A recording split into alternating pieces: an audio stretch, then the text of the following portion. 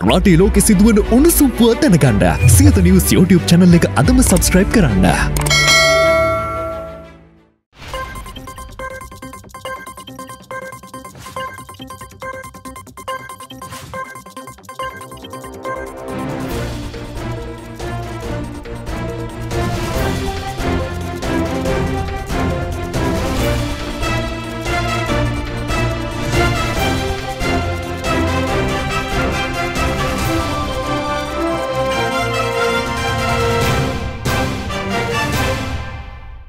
ආයිබෝවන් සැමට කලින් සත්‍ය හරියටම ඔබට කියන සියත උදෑසන ප්‍රවෘත්ති විකාශයයි මෙලෙසින් ආරම්භ වන්නේ. මම චමුත් සත්‍යපාල ප්‍රථමයෙන් නවධානය පුවත් සිරස්තල වෙත. දින තිස් නවයයි නඩුව සිංගප්පූරුවේද ලංකාවෙද නඩු නැතිවෙයිද. ඩොලර් බිලියන දෙකයි දශම නවයක් ණය හිඟමනේ යන රට වන්දි ලෙස ගන්න පුළුවන් ඩොල බිලියන හයදශම හතර අමතක කරන්නේ කොහොම දැයි අද ටෙලිවැකියෙන්. දූෂණ මර්ධන පනත් ගෙන ආ පමණින් රටේ දූෂණ වංචා නවත්වන්න බැහැ ට්‍රන්ස්පේරන්සි ඉන්ටර්නශනල් කියයි. දේශීය ප්‍රවෘත්ති වෙතටයි ප්‍රථමයෙන් නවධානය. දූෂණ විරෝධී පනත් කෙටුම්පත ක්‍රියාත්මක කළ පමණින් රට තුළ දූෂණය සම්පූර්ණයෙන්ම නැති කරන්න බැරි බව ට්‍රන්ස්පේරන්සි ඉන්ටර්නශනල් ශ්‍රී ලංකා ආයතනය පවසනවා. පනතේ යහපත් වගන්ති මෙන්ම බරපතල කරුණුද පවතින බවයි ඔවුන් වැඩිදුරටත් පෙන්වා දෙන්නේ.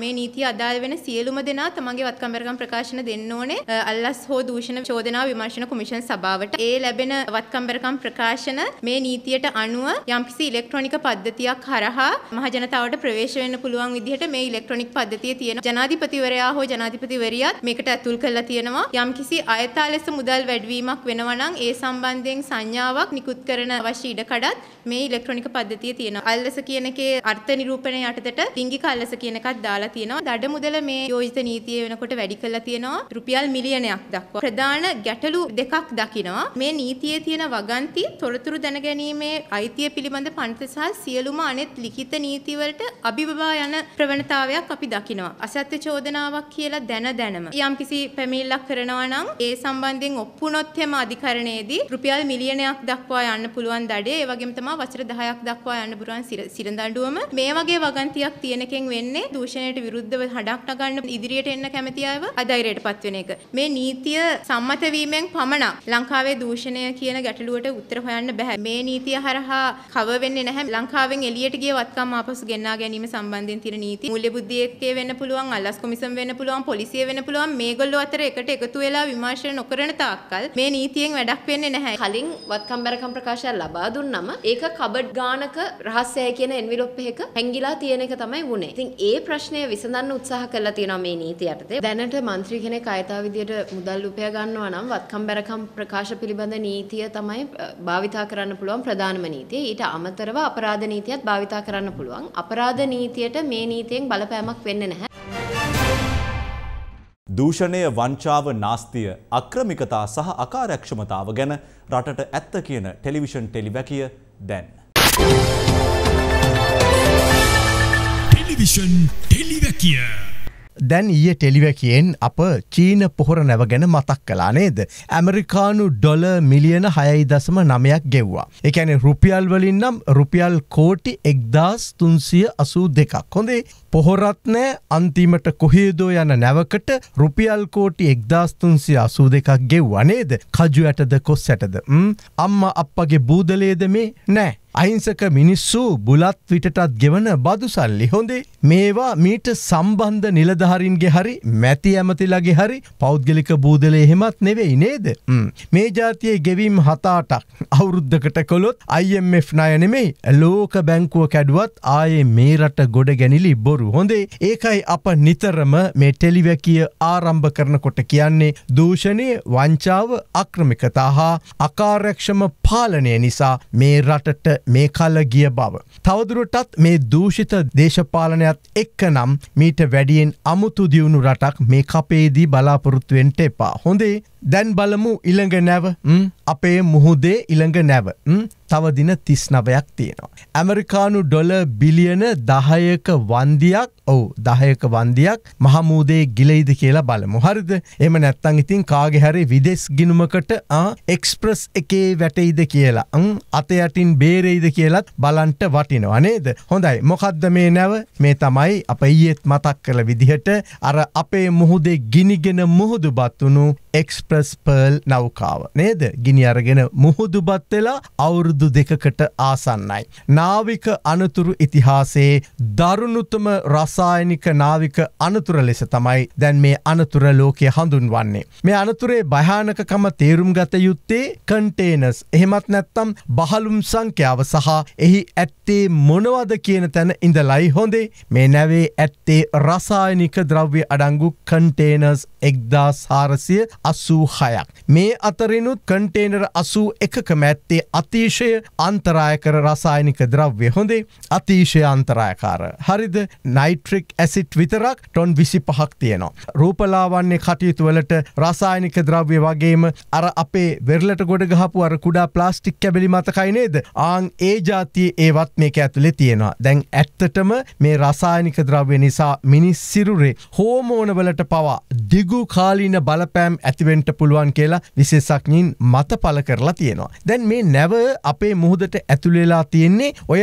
ලෝක සාගර නීතිය කඩ කරමින්. මොකක්ද ලෝක සාගර නීතිය නැවක් මුහුදේ යාත්‍රා කරන්න නම් මුහුදට යෝග්‍යවෙන්ට ඕනේ එක තමයි සරලමාර්ථ කතනය හොඳේ දැන් මේ නැවේ රසායනික ද්‍රව්‍ය කාන්දුව නිසා හටගත් ගින්න හේතුකටගෙන වරායන් දෙකක්ම තම රටට ඇතුළුවීමට ඉඩ දුන්නේ නැහැ. ඒ ඉන්දියාවේ හසීරා වරාය සහ කටාර් වරාය.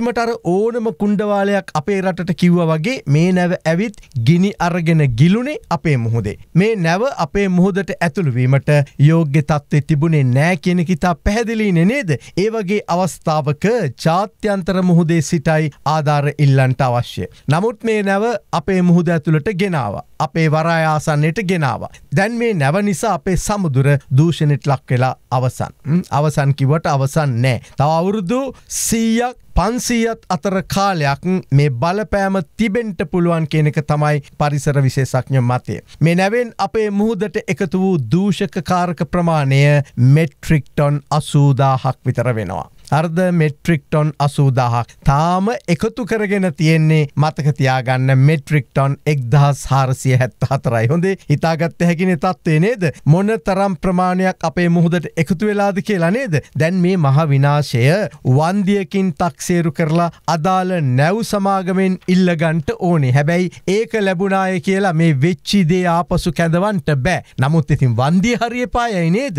ඩොලර් වලින් වන්දිය ලැබුණයි කියලා මේ මහා සමුද්‍රිය දූෂණය යළි යතා තත්වයට පත් කරන එක හිතන තරම් ලේසි පාසු වැඩක් නෙමේ. නමුත් වන්දිය වැදගත් මේ වෙලාවෙනේද. නැව ගිලිල අවුරුදු දෙකකට ආසන්නයි. ලබන මාසේ දහනමවෙනි දට ඒ කියන්නේ මැයි දහනමයට පෙර නඩු පවරන්න ඕනේකට කියන්නේ කාලාවරෝධ නීතිය කියලා. ඒ නීතියට අන අවුරුදු දෙකට ඉස්සෙල්ල නඩු දාන්ට ඕනේ.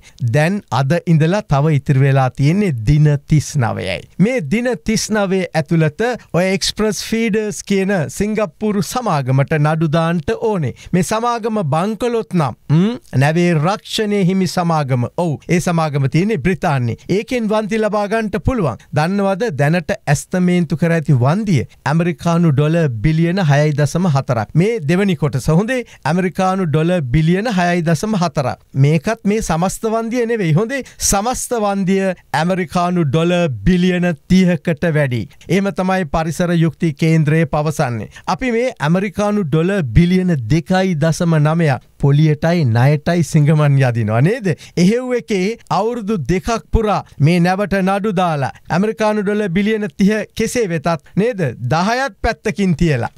අඩ්ඩුම ගානේ හයයි දසම හතරවත් ගන්න උත්සාහ කරලා නෑනෙ නේද. අද වෙනකම් බැරි වෙලානේ දැන් මේ දවස්වල මේ නඩුවදාන්නේ කොහේද කියලා ලොකු විවාදයක්. හරිද දවස් තිස්නමයයි තියෙන්නේ. දේශපාලන බලාධිකාරයයි නීතිපති දෙපාර්තමේන්තුවයි කියන්නේ සිංගප්පූරු යමු. එහෙේ නඩුදා දාමු කියලා. මොකද මේ කැබිනෙට්ටුව තීන්දු කලාලු සිංගප්පූරුවේ නඩුව දාමු කියලා. හරිද දැන් සිංගප්පූරුවේ නඩුදාන්න නම් සිංගප්පූරු නීතිඥ සමාගමකට ඩොලර් ගෙවන්ට ඕනේ. සිංගප්පූරුවට මෙහේ සාක්ෂිකාරයෝ අරන් යන්න ඕනේ. සමහර විට නැවෙන් ලැබෙන්න පුළුවන් ඇමරිකානු ඩොල බිලියන දහයට වඩා මහා සතුටු බිස්නස් එකක් වේ විනේද. ඔය සිංගප්පූරු නීතිඥ සමාගමකට හෙම ගෙවල සිංගප්පූරු වටේ ඉතින් වටයක් දෙකක් ගහලන එක නේද. මේ වන විට මේ රට නීති විශාරදීන් බොහෝ දෙනෙකු පෙන්වා දෙනවා මේ රට තුළ නඩු පැවරීම තමයි ඉතාම වාසිදායක කියලා. මේ අතරතුර මෙතෙක් ලෝකයේ සිදූ භයානකම රසායනික අනතුරවන අරච්චබිනොල් සහ බෝපාල් ඒ අනතුරු දෙකම